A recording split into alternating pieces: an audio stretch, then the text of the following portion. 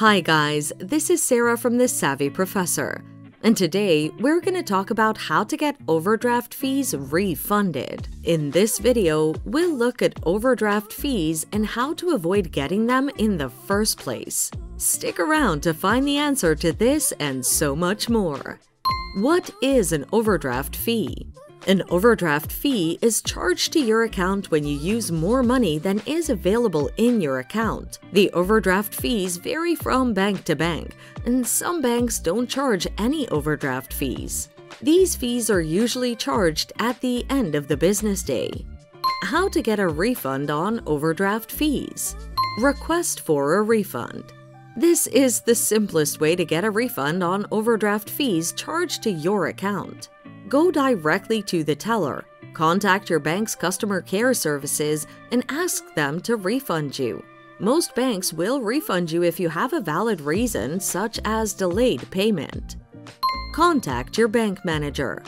In most cases, if the bank doesn't have a dedicated overdraft refund policy, customer care won't be much help since they can only do what the policy allows. If this is the case with your bank, go further up and talk to the manager and ask for a refund.